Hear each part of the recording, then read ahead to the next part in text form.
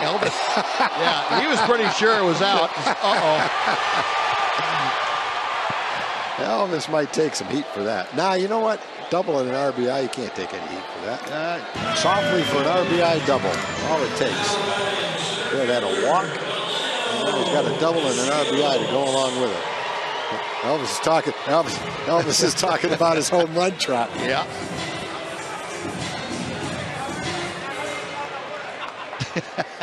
he wouldn't even shake his hand.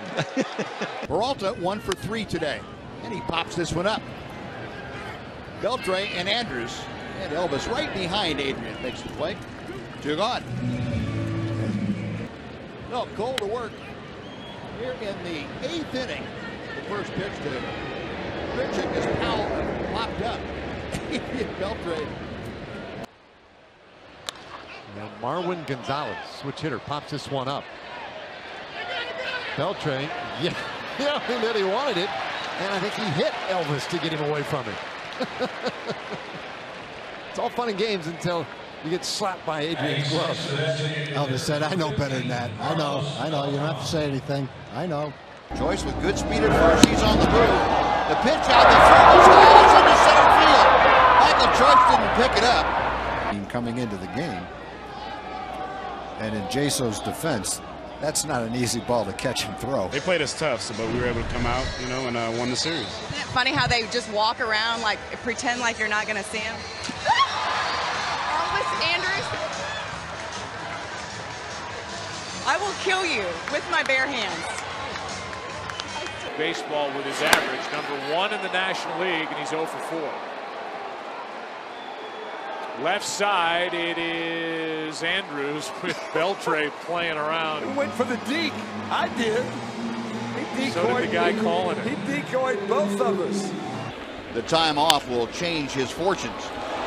Off of Beltre, over to Elvis, the hard throw, and they got it. Nice play. Good reaction by Elvis on the carom off of Adrian Beltre's glove. That'll go down as a 5-6-3 putout. By Park in the ongoing saga of Elvis Andrus knocking out Prince Fielder and do one every night. Elvis coming up with a new move on Prince, and it gets him every time in an inning. And Morales grounded into a 4-6-3 double play that took care of it. Here he's going to pop out for the second out of inning number seven. Elvis is there right behind Adrian Beltre, who's explaining to him where his line is, and Elvis can't go there.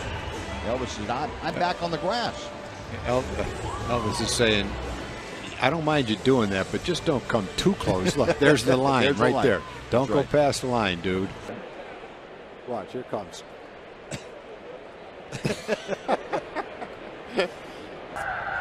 Elvis Andrus, I think, Try doing to some, the midge out of some his midge, eye. pre- midge repair for Adrian Beltre. They don't bite, but that doesn't mean that they're not uh, huge pests. And that. He's got a Beltre's hat on. Yeah. Oh, man, that's funny. He got a fastball. He got a pitch that time. Take that, Elvis. lack of run support. Choo runs and the ball is fouled off.